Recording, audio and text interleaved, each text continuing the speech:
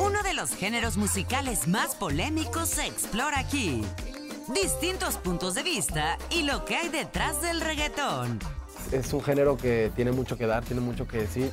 Entra a fondo en el tema. Central 11 Todoterreno. Domingo, 17.30 horas.